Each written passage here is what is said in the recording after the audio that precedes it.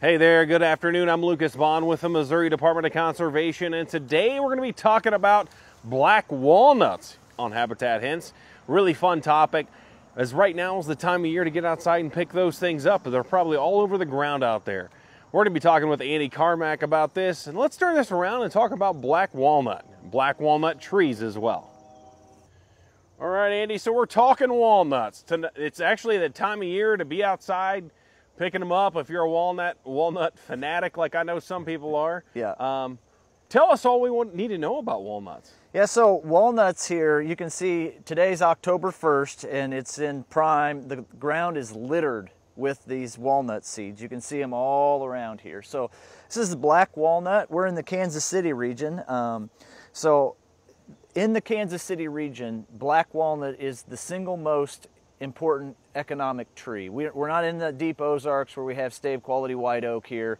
We have a lot of black walnut. And when I go out and talk about black walnut and black walnut management and how to, how to make your property uh, better and how to make your trees um, worth more, that's a, something that I talk to landowners about all the time. So fall is a good time to see and identify black walnuts because obviously you can see the, the walnuts, right? This is, mm -hmm. but if it's not fall, I'm gonna give you a little bit of helpful tips about how you can identify walnut trees. So walnut is a single stem tree. It comes, has nice um, condensed bark, but when you break it off, it will break chocolate brown. You see that right there? Mm -hmm. So it's one of the few tree species that when you break the bark like this, it will be chocolate brown. That's a super easy way to identify uh, black walnut tree. You okay. kick, kick the stem, identify it like that. And when we're talking about black walnut, we want to start talking about managing for black walnut because like I referenced earlier,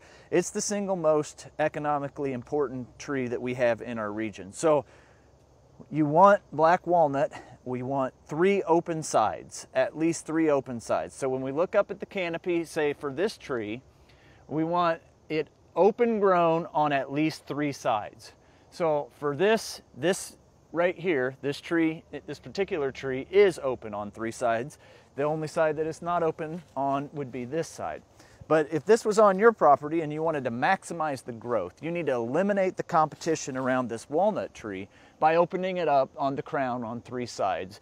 What that does, will it will speed up your growth and it'll get your um, stems growing much faster, your walnut trees much faster. It's called a crop tree release. You want to you want to pick the best tree, your walnut tree that you want to eventually have a walnut sale on, and you want to eliminate all the competition underneath it and around it. So opening it up on three sides. I get this question all the time. Well, I have three trees, can I have a walnut sale? The answer is no.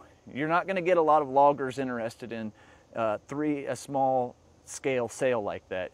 Typically, they're going to want 40 to 50, upwards of even 100 stems, walnut trees that they want to harvest. And then the next question is, how big do they have to be? And I always tell people that the bigger the better, right? So minimum, my recommendation is I don't like any walnut sales with walnut stems less than 18 inches diameter at breast height. So four and a half foot high, this tree here would definitely be uh, big enough to have a, a walnut sale mm -hmm. here, but 18 inches would be a minimum for black walnuts. So if you want to learn a lot more about black walnuts and the black walnut management, you can get on our website at www.mdc.mo.gov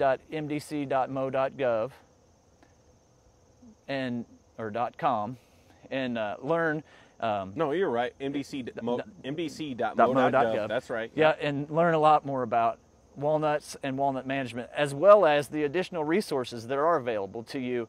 We have foresters, we have private land conservationists in every county to help you manage your black walnuts. Awesome, awesome. I appreciate it, Andy, and thank you very much. And again, I'm going to echo what he said. Learn all about this awesome tree, this black walnut tree, you can learn more all about it on our website at mdc.mo.gov. And all you have to do is search black walnut and you can learn about that. Also, if you have questions, if you have questions for your uh, private lands conservationist, and if you don't know who that is, you can get on the contact and engage thumbnail that's on top of the uh, on top of our website uh, on our pay on our website page at the top right hand corner click on it scroll down and find the county you are at in and you can search, and scroll down and find your private lands conservationist you can contact and get in contact with him. You all have a great rest of the day and enjoy this beautiful, beautiful weather we're having.